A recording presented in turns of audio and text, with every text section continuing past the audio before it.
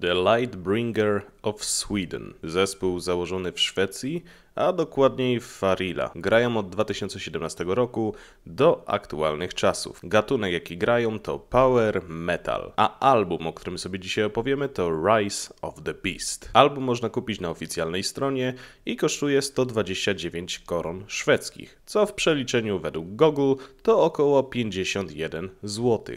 Czy album jest warty swojej ceny? Czy pierwszy ich album, który wydali 3 lata po powstaniu, jest dobry? Czy ich muzyka mnie jakkolwiek zainteresowała? Cóż, zobaczymy. Witam serdecznie, z tej strony Kariot i witam w kolejnym filmie na tym kanale. Dzisiaj wrażenia z albumu muzycznego. Z albumu, które poznałem dzięki utworowi, który został mi polecony przez algorytm Spotify. Był to utwór Shadows of the Night i przyznam, że skradł moje serce melodią, tekstem i głosem wokalisty. Trzy te rzeczy sprawiły, że uwielbiam słuchać tego utworu i śpiewać refren wraz z wokalistą. Potem zapoznałem się z albumem i przyznam, że jestem ogromnie usatysfakcjonowany i zaskoczony, bo nie spodziewałem się tak dobrego kunsztu metalowego.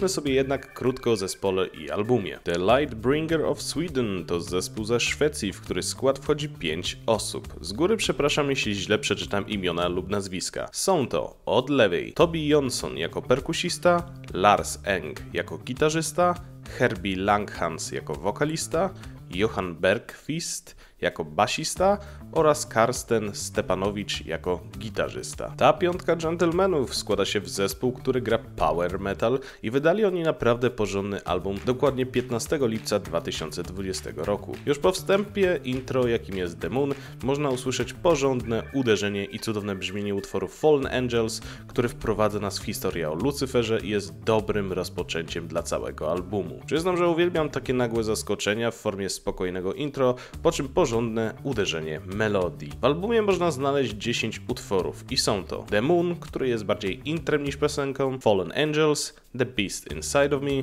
One by One, Into the Night, Skeletor, Lightbringer, Save Us, Heaven Has Fallen oraz Shadows of the Night. Przyznam szczerze, że rzadko mi się zdarza, że tak duża liczba utworów na albumie ma, według mnie, wiele chwytliwych refrenów. Zazwyczaj są to dwa lub trzy utwory, a tutaj jest ich aż pięć. Fallen Angels, The Beast Inside of Me, Into the Night, Lightbringer oraz istne złoto dla mnie i najbardziej zajebisty utwór z całego albumu, czyli Shadows of the Night. Jeśli chodzi o tematykę utworów czy całości albumu, to różnoraka, ale dominuje tu mroczny klimat, w końcu mamy utwór o Lucyferze, o bestii we mnie, co patrząc na tekst może być o walce z samym sobą czy swoimi demonami, a przynajmniej ja to tak interpretuję czy odbieram, o upadku nieba i wiele innych. Także sporo tu nawiązań do mroku, cieni oraz do religii, bo w końcu mowa tu o upadłym aniele i upadku miejsca, do którego wierzymy, że kiedyś pójdziemy a przynajmniej wierząca część osób. Większość utworów ma dość szybkie tempo, więc czuć ten power metal, ale mamy tu też spokojniejsze utwory z wolniejszym tempem, jak chociażby The Beast Inside of Me, który naprawdę mi się spodobał, zwłaszcza za refren, który bardzo uwielbiam słuchać, tym bardziej, że głos wokalisty jest naprawdę przyjemny. Momentami ochrypły, a momentami czysty i naprawdę kojący według mnie i w tym utworze wprost cudownie się Herbiego słucha. Ze spokojniejszych jest jeszcze Heaven Has Fallen, który nie spodobał mi się tak bardzo jak tamten, ale również jest bardzo przyjemny dla ucha. Dodatkowo podoba mi się pierwszy wers, czyli Heaven Has Fallen and Become the Devil's Playground. W sumie patrząc na to, co się dzieje na świecie, to dość trafne. Całość albumu jest naprawdę dobra. Trudno mi znaleźć utwór, który byłby dla mnie kiepski, czy taki, który bym pomijał. Każdy jest wyjątkowy na swój sposób i wszystko składa się w naprawdę porządną całość. Jeśli bym miał już wybierać utwór, który mi się najmniej podoba, choć nadal jest całkiem niezły, to Save Us. Podoba mi się początek, bo naprawdę dobre rozpoczęcie, jednak ze sam tekst jakoś mnie nie przekonał. Jest to utwór całkiem ok, ale jakoś nie przekonał mnie tak do siebie jak reszta utworów. Warto dodać, że jest to pierwszy oficjalny album tego zespołu. Przed wydaniem albumu wydawali wydawali jedynie single, aż w końcu udało im się i 3 lata po powstaniu wydali swoje pierwsze dzieło. Kolejne 3 lata później, czyli w 2023 roku, wydali kolejny album The New World Order, którego jeszcze nie słuchałem, ale z całą pewnością to zrobię, bo jestem ciekaw, co z tego wyszło i czy spodoba mi się tak bardzo jak ich pierwszy twór. Jestem ogromnie zaciekawiony, co chłopaki mają w planach dalej, bo już teraz jestem mocno zaciekawiony, bo i teksty, muzyka, wokal są na naprawdę dobrym poziomie i czuję się momentami zahipnotyzowany tym albumem. Są kawałki bardzo szybkie i z porządnym pierdolnięciem, ale mamy też lżejsze, gdzie czuję, że można się zrelaksować i po prostu wsłuchać się w tekst, głos wokalisty i odpłynąć. Także może już odpuszczę sobie dalsze chwalenie, bo po prostu naprawdę mi się podobają i chętnie wysłucham kolejnego albumu i mam nadzieję, że się nie zawiodę. To tyle. Dziękuję za wysłuchanie, dziękuję za poświęcony czas i życzę miłego słuchania. A teraz czas na krótkie fragmenty utworów z tego albumu.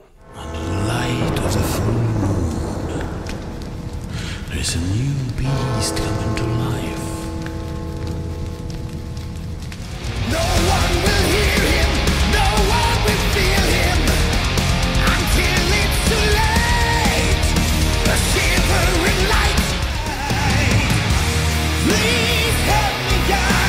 Those.